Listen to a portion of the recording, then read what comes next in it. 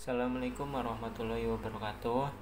Baik, kali ini kita akan mencoba meng-screenshot layar laptop atau PC kalian dengan menggunakan aplikasi. Nah, aplikasi yang saya gunakan kali ini adalah aplikasi Leakshoot Nah, aplikasi ini mudah banget ya, cara installnya itu mudah. Pertama kalian download dulu aplikasinya, aplikasinya. Tinggal kalian ketikkan di di Google League Shoot. Mana? Nah ini. Tulisannya gini ya. Nah ini kalian tinggal klik yang atas sendiri.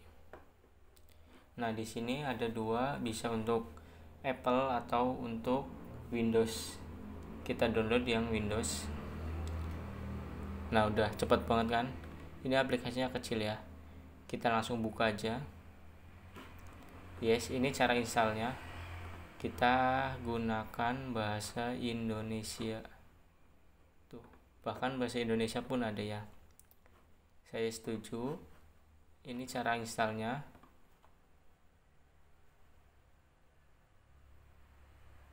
Kita tunggu. Nah cara installnya itu udah selesai ya. Nah cara penggunanya gimana? Cara penggunanya yang pertama kita bisa nih ini di bawah ada gambar bulu bisa diklik. Nah ketika gambar bulu ini diklik maka layar akan hitam. Nah hitam kalau layar udah hitam kita tinggal seleksi mana yang akan kita copy atau kita screenshot. Nah semisal saya akan screenshot tulisan thank you ini. Nah kalau udah tinggal kita save nih save yang ini nih. Nah save Nah, kita contoh di sini ya. Screenshot 3 tulisan thank you. Nah, tadi saya udah coba ya dan jujur ini mudah banget ya. Tadi ada di musik. Nih. Ini kan mudah banget. Nah, caranya yang kedua kalian bisa tekan print screen. Tombol print screen di keyboard kalian. Nah, cukup tekan satu kali layar langsung berubah menjadi menjadi hitam ya. Tuh. Kalau kalian ingin misalnya ini salah ingin kembali tinggal tanda X ini. Nah sekalian kita saya kasih tahu ya fungsi-fungsinya kita belajar fungsi-fungsi toolnya. Kita contoh mau screenshot ini. Pertama tekan print screen. Selanjutnya kita seleksi yang mana Nah, di sini kan ada banyak, ada tool-toolnya, ada banyak.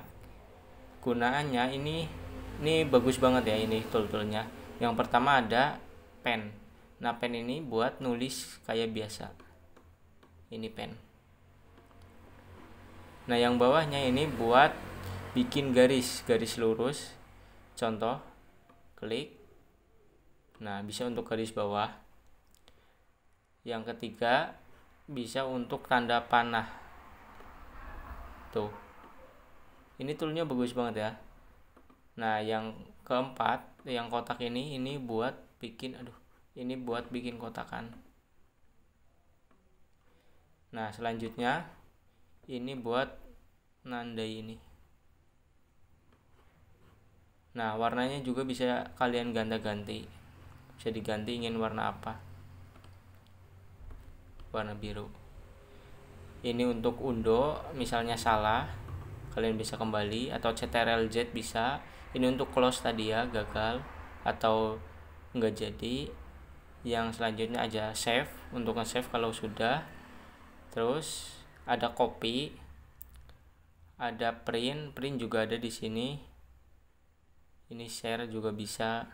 Nah kalau sudah kalian save kayak tadi ya tuh ini bisa buat apa aja? Bisa screenshot soal atau screenshot apa? Bisa langsung ditandai. Kita lihat hasilnya tadi di musik ya. Nih ini hasilnya tuh. Bagus banget. Nah ini saya sarankan banget ya pakai aplikasi ini. Penggunanya juga mudah installnya juga mudah.